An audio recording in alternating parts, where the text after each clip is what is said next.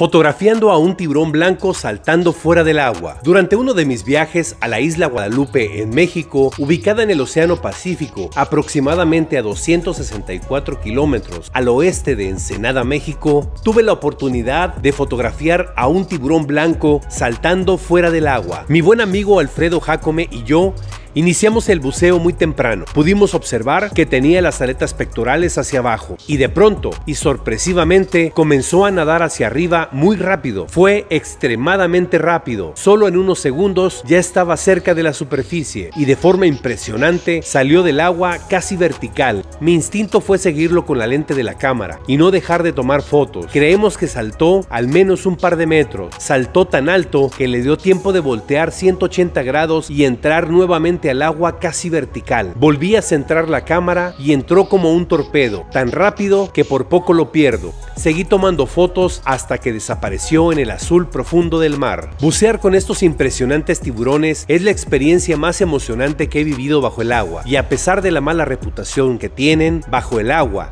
y junto a ellos reina una gran paz. Regresamos a casa con una nueva apreciación por estos magníficos animales y con recuerdos que durarán toda la vida. Síguenos para más contenido, comenta y comparte. Arroba vamos a bucear.